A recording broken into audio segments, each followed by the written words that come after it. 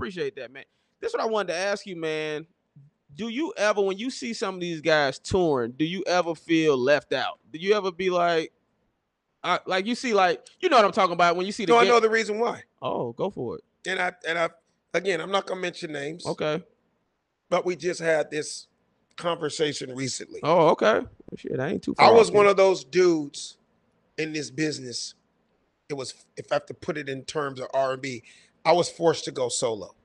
Oh. I don't know if oh. you ever heard the story about back in the day when, and I'm making this very clear so the young cats could get this and everybody watching. I don't know if you ever heard the story about how Anita Baker had to fire Luther Vandross out of love. Nah. So uh-uh. fire him out of love. This dude went on to be one of the greatest of all time. You're too damn amazing to be a background singer, bro. When when they're coming to see her, but they're like, love you, but who's the nigga in the, the back? Yeah. This nigga's incredible. It started to be there was so much focus on him that she's like, I love you. You're an amazing guy, and thank you for what you've done. I can't have you back there behind me anymore. so I say that to say there's a lot of big names out there. I only bring it up because I really truly get the question. Yeah. And I'm even going to give you the example without saying the names because then people want to instantly call it hate. No, I'm just telling you the truth. Yeah. Man, why you don't ever be on the tour with Yeah. Man, I talking to the nigga always good. Man, he got four specials. Why? Why can I never open up? There's a reason why certain comics have certain people opening up for them. Yeah. The reason why those three guys are opening up, because nigga, they they they they they're never gonna get beyond here. They're just Mm, lukewarm. They're right. just okay. There's nothing wrong with that. Right. Those guys got rich because of that dude. Right. They now have homes and cars and everything. right. But I understand why that dude would never have me open up for him. Right. He, he, you, you can't have a nigga go up and get stand ovation before you. You just can't have that. Not on my show. Right. When they came here today, so there's a lot of people out there, and I'm not saying this with hate with any of those dudes. Nah, I, feel, I, hear you, I was forced that I got so strong, I had to do it on my own. It may take Mm. me a little longer, Yeah. but I had to do it on my own and do my own. So that's the reason for all the people constantly like, man, we went and saw such such this weekend. Man, I wish you could have been on the show. And I tell people, unfortunately, I'll never be on the same show with that guy. and I'm just being honest. I love that dude. And I know why I'm not opening up for him, but that's okay. Man, and I asked that because You get my point? no, oh, I get your point. I- Okay. I, get your point. You There's know, a I, reason why certain certain people go out with certain people because I've been on shows and nigga's just mediocre. I've been on shows and uh people have constantly I went from doing X amount of time and they keep they kept Cutting shrink- you down. cutting me down on Oh, yeah. time.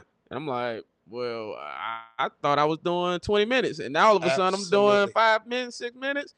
What? Justin, again, Yeah. without using names, I've had stars that I've opened up for in my 30 year anniversary, and their managers and their people have said, Alex, just, just fall back a little. Yeah. Just just fall back. I'm like, what do you what do you mean? I mean, I, I did my time, I did everything.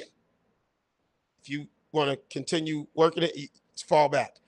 I would hear that so much over the years that it really it, it kind of put a fire in me to even get stronger Yeah. because it let me know I was doing the right thing. And um, and I thank those dudes for giving me opportunities Right. to be a young comic and touring all over the country and stuff. But when I would hear fall back, like, you remember why you're here, bro. If anybody that came to see him. it- yeah, you know, if anybody don't really realize what he's saying, it's also yeah, like you, you, you translate. they'll tell you that you can't be too funny. Thank you. So there's a lot of headliners. They'll sometimes have an opener or a feature that they might they funny, but they just funny enough to get the job done. And but- that's the ones that they stay with. Back to my example, right? The, Th- the, the ones that are just okay. Right, they work forever. Yeah, yeah. Yeah, those Yeah, features work. part. yeah, those features and that guy will be the feature in the middle forever. They saw the potential in me, but Anita Baker, she was just straightforward with Luther. Right. These guys went for it. All I knew is I wasn't getting the dates anymore. I Mm, just know, okay. So then it's then it got to be the point they were like, well, don't do this, this, and that joke. And in my little young coming up mind, those are some of my best jokes. Gotta do them. Do your thing, just not on this show. So now you're you're. It's almost like I'm knocking niggas out, but you're asking me not to use my right hand anymore. yeah, Like I just need you to jab on these niggas. I don't need you to kill them. Why do we not need to kill? And it, and it made sense as I got older. It, it used to upset me. right. The reason why they only want the jab because They paid to see this nigga knock him out, Right. not you. My homeboy was just telling me how he just went to a comedy show recently. He was like, all the openers was funnier actually than the headliner.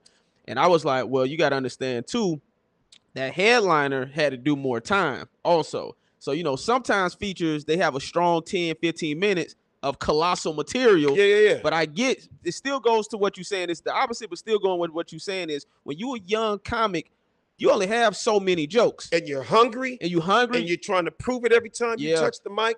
And, and, and never did I disrespect any of them. That's Right. one thing I knew coming into the game. right. I'm not going to bite the hand that feeds me. Fuck you, Eddie Murphy. I'm doing this joke. no, see what I mean? But there's dudes that, Did- did without that. saying names, Yeah. that did that. right. And that's why they never really Right. get. I I was not a dude to burn bridges or Yeah. fuck up relationships, and that's why I'm still here 30 years later. Yeah. You get what I'm saying? But I know a lot of dudes without naming names. You just fucking bit the fingers off the hands. that and you'll never work with that guy. And that dude does tons of movies. And that guy I say, I'm one of those dudes that stayed working because people like me. I never claimed to be the funniest guy, Right. but people like me. And that's and it's and at the end of the day, the same way they told me it's not just about your jokes, it's about your personality. Relationships is everything in this game. So again, no shade against any of those dudes that wouldn't have me work with them anymore. Cause I get it. Right. I get it. Right. I get Sway, sway, sway.